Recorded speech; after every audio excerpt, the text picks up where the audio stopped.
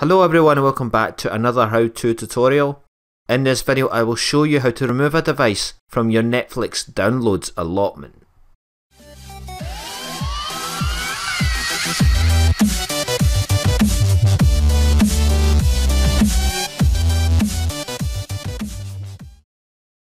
Netflix lets you download movies and TV shows to your mobile device, so you can keep watching when you're offline, or don't want to use up your mobile data. However, if you use Netflix Premium, you can only download videos on up to four devices.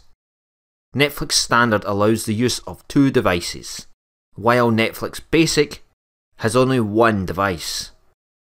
If you need to add another device, you'll need to deauthorize one first.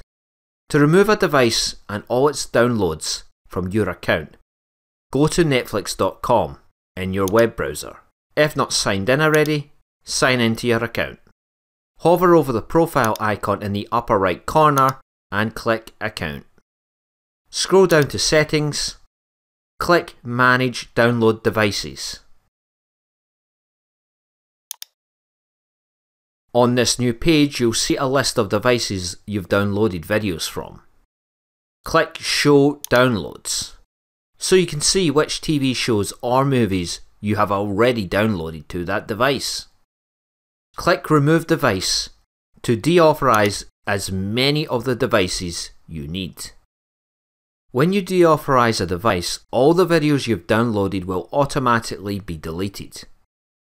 You'll now be able to download films and TV shows to a new phone or tablet.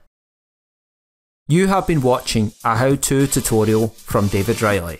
If you like this video, give it a thumbs up and don't forget to hit that subscribe button. To receive notifications about every new video, you can also turn on the notifications bell by clicking or tapping it. You can also leave a comment down below. Your ideas and suggestions are always welcome. Until the next time, take care everyone.